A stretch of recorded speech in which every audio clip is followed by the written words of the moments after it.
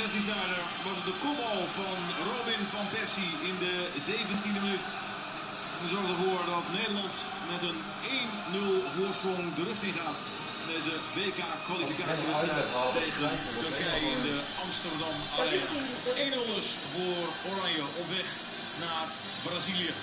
En dit op het einde. Hij zag het niet. En de andere, Hassan Ali, kon er niet van wegkomen. Gaat het goed? Enigszins.